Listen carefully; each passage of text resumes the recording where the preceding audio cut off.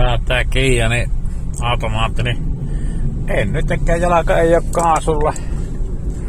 Kenkä heilu tuolla kaasupalvelun lähelläkin, niin tää kulkee ihan iteks. Automaatti Aatonen yleensä tulee kaasua painamalle. Nyt kun on jarruttaa risteykseen, löysset jarrua, yksi, kaksi kiihittäjä, mitä nyt katsoin tuossakin korjaamahallin pihassakin pyöritti ympäristöksi itseksä, eli 12 kilometriä tunnissa, nyt näyttää 13 kulkeva, niin tää mennä ja ylämäitti, ei oo ruise vielä eikä mikään muukka tiedä, paska, mikä paska suoraan sanottuna, hengen vuorallinen tuolla kavulla, kun ajat aaton perässä ja pikkusen väliin rakko ja sitten yksi aato hyökkäkin, kun löysää vähän jarrua, niin se lähtee menemään, ei muuta kuin polkoisen jarrupohja, että pysähteli. Tällä kyllä ajaa vielä jonkun perissi ihan kylmän villis.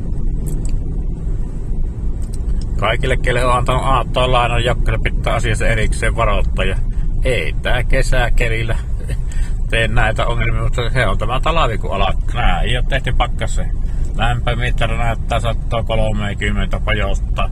Ihan sama kuin kylmä vai lämmin muussa, missä lähekö pakkasta nyt niin näyttää 26 astetta. Niin.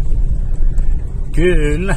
Katsotaan mennäänkö mäkille asti vaan näitä puolitoista kilometriä, niin ai se kulukko automaattisen tuonne asti. Voi vittu, kun näistä pääsee eroon, niin ei tuu korealaisia autoja meidän pian Ei ilmoitteskaan tarvitse näitä.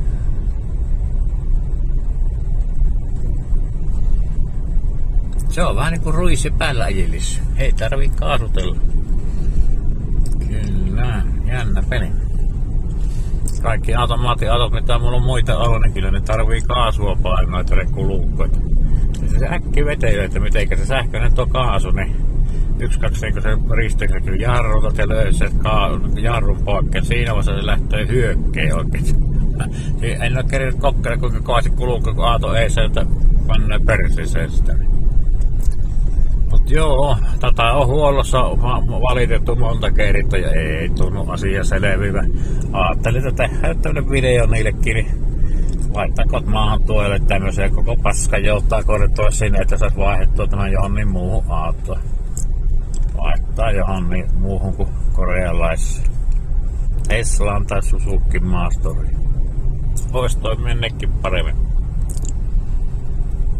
Joo, elämä on valinta. Onneksi on mitä valita aatoja. Eikä täällä ajettu kuin 51 000, että ei tota kilometriäkään ole hyvin paljon kertynyt neljää vuotta. Niin. Ostakee pois, hyvä kiia. Pikku vika ja helppo korjata.